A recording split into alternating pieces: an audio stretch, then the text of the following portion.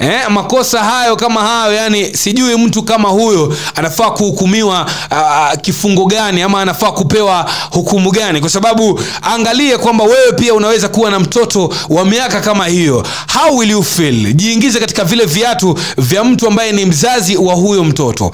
Wewe ni assistant chief we expect eh, kwamba watu wanakuangalia wewe. Kuna watu ambao wewe unawa inspire watu ambao wanakutazama wewe kwamba uweze kuwa lead in the rightful ways alafu ghafla bin vu tunashtukia kwamba wewe kama msaidizi wa chifu mtu ambaye unatatua makosa ya kijiji pale ama ya ule mtaa unajipata katika kosa kama hili la kumnajisi mtoto wa miaka minne. Inahuzunisha kwelikweli aihopa hope sheria itafata mkondo wake ili hii familia ya huyu mtoto iweze kupata eh, iweze kupata justice. Kwa sababu jambo kama hili tukilifungia macho ama tukilizibia masikio jamani tutakuwa tunalipoteza eh, jamii letu. Sasa ni muhimu kabisa ni sheria ifuate mkondo wake apelekwe mahakamani huyu jamaa. Tusichukue sheria mikononi kwa sababu tuna ile tabia ya kwamba amebaka huyo amenajisi huyo lazima tummalize tumuue mnaingia pale mnachukua nguvu eh, sheria mikononi mwenu mnampiga mpaka mnammaliza lakini tusifanye hivyo. Acha sheria ifuate mkondo wake.